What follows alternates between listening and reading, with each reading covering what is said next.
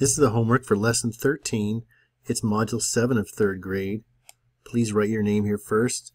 You don't want to forget it later and then turn in your homework with no name on it. Find the perimeters of the shapes below. Include the units in your equations. Match the letter inside each shape to its perimeter to solve the riddle. The first one has been done for you. So you've probably seen pages like this before. Um, you tend to get them a lot, especially when you're um, when you have a maybe you have a substitute teacher or something like that. And this is just um, adding up the perimeters, and it's going to make like a it's going to like make a code that matches up with uh, with the numbers. So I'm just going to solve all these first and then figure out the code. And I'm just going to keep using the letter P for perimeter. You can see they did that here even though it's letter Q. Uh, they used P for perimeter instead. So I'm just going to keep doing what they did.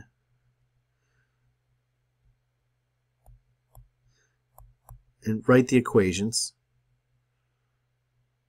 And it says here include the units in your equation. So just like in the example, you're going to write inches or feet. Like this one has feet. This one here has centimeters.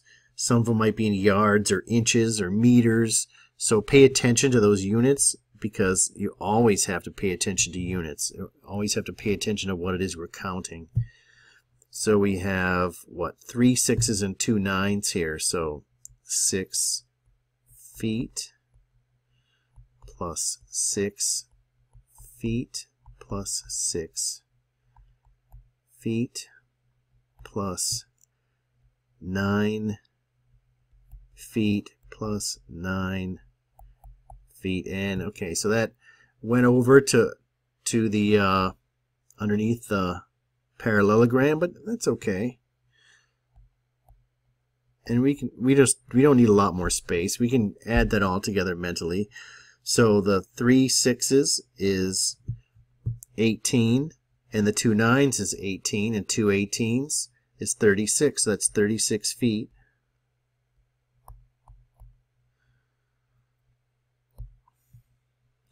And then for S, we've got two fives and two sevens. So that's, we'll just write this down here. 5 uh, P equals 5 plus 5 plus 7. Oops, and I forgot the units. I'm going to erase that and go back. 5 centimeters plus 5 centimeters plus 7 Okay, P equals, and so we have two fives for a 10, and two sevens is 14, so 10 and 14 is 24. Just like that. And then here for shape A, we have two sevens, a 5, and a 9. So P equals 7 plus 7. Oh, forgetting the units again. It's so easy to do that. 7 yards plus 7 yards plus 5 yards plus 9 yards equals, well, let's see, two sevens is 14, and 9 plus 5 is also 14, so 2 14s is 28.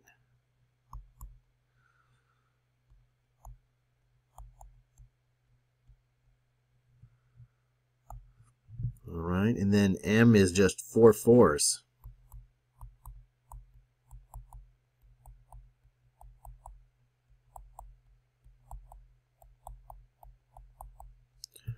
And 4 times 4 is 16, or 4 fours is 16.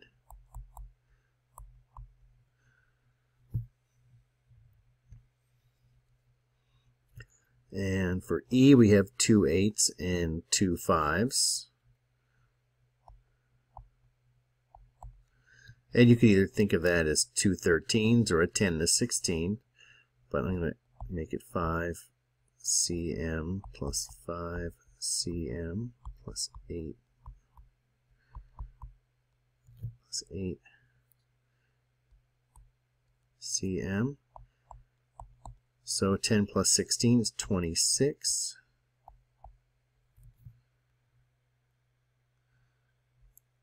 And then this one here, we have two sevens and a six.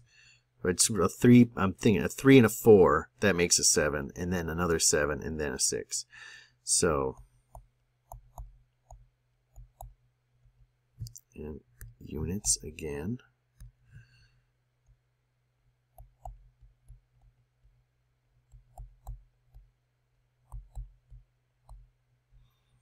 and adding these up mentally the way I think of it, and you may think of it just as with all of these. You may have a different way to group these uh, to put them together. I'm seeing that 3 and that 4 makes a 7, and two sevens is 14, and then there's that 6 right there. That makes that gets me to 20.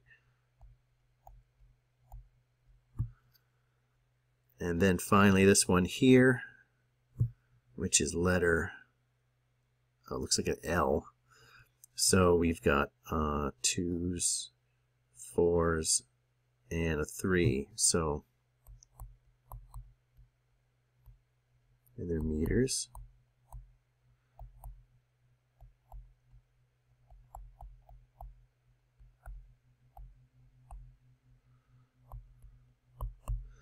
So those two twos, I'm thinking of those as a four. And then I have three fours, which is 12, and a three, which makes 15. All right, and now I can, what kind of meals do math teachers eat? So we'll go back here and look at all the codes. Uh, 24 is here. So that's that's letter S. Let's see if there are any other 24s. There's one at the end. And then we need a 21. 21 is here, so that's letter Q. I think they're going to be square meals. And 20's got to be a U, right? Yep, it is. There's 20, it's a U. And 28. And you don't have to mark these like I am. I'm just doing it to show you where they are. Uh, 28 is this right here, so that's A.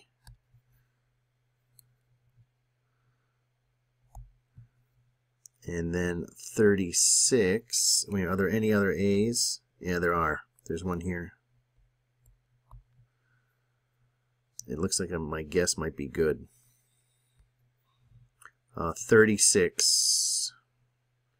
36 is here. That's R.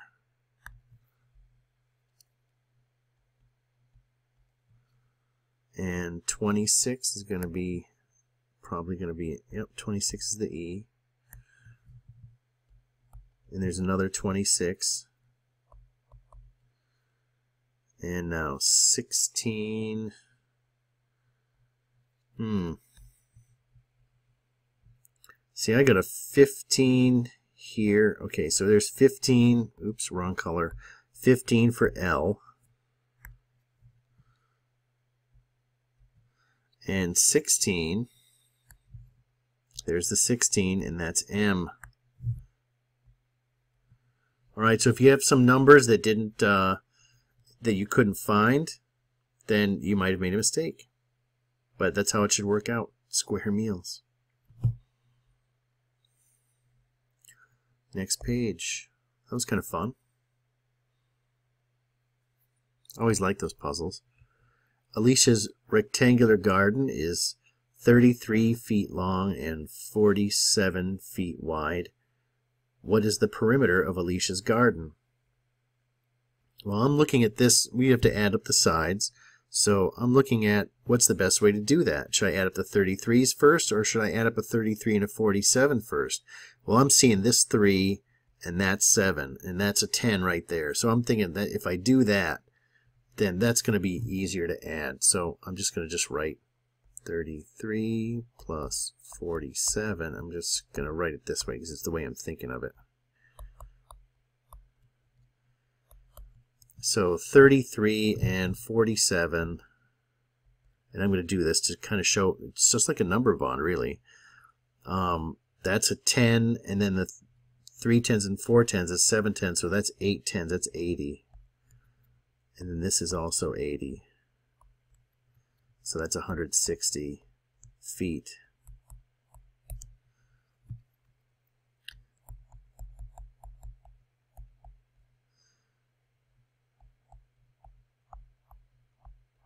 Now don't be fooled because this is shaded in. We're not looking for the area. So thankfully you don't have to multiply 47 by 33 to find out what's inside. If she was going to buy a fence to go around the outside of her garden, it would be 160 feet of fence.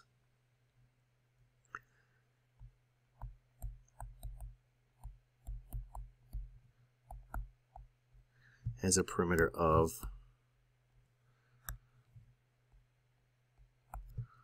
160 feet. Got to have an equation. Got to have an answer statement. You have to have those things. You don't have to draw those arrows I drew, but you do have to have those two things. It's a word problem. And the picture they gave us already, so we don't need to draw our own picture. Jacques measured the side lengths of the shape below. Find the perimeter of Jacques' shape. So again, we're looking for ways to make 10. And that's how we're going to write our equation. So this is all just adding up the sides, right? Well, I see a 7 and a 3 next to each other. There's a 10 and I see a 5 and a 2 and a 3, that's a 10 because that makes 5, so 5 and 5 is 10. And then it gets harder because we have, what do we have? Two fours for an 8 and maybe a 5. You might have a different way of adding it all together, but that's the way I'm looking at it. Uh, 5 plus 2 plus 3 plus 7 plus 3 plus 4 plus 4 plus 5. And it's a, it's a way to check. Just count how many sides there are. 1, 2, 3, 4, 5, 6, 7, 8. And then count how many numbers you're adding. 1, 2, 3, 4, 5, 6, 7, 8. Just to make sure you didn't skip any. And we'll make this an equation, right? That equals P for perimeter and then so we, we figured out that this is 10 and these are 10 and that's 8 and that's a 5 so P equals those two 10s make 20 the 8 and the 5 makes a 13 so 20 and 13 is 33 inches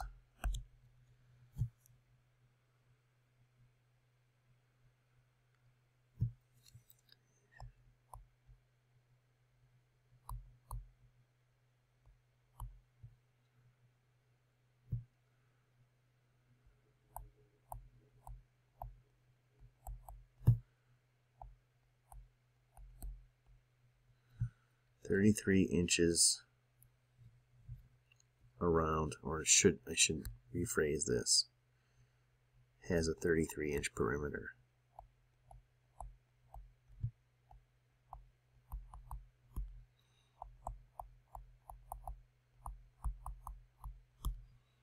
Jacques says his shape is an octagon. Is he right? Why or why not? Well, didn't we just count how many sides there were, right? One, two, three, four, five, six, seven, eight. Yes, it has eight sides. He is right. And if you want to get the extra points, you could just say it has eight sides. But you could say it is, you could say it's a polygon with eight sides. It is a flat you don't have to write all this. You could just say it has eight sides. That would be fine. It's a flat, closed shape with eight straight sides.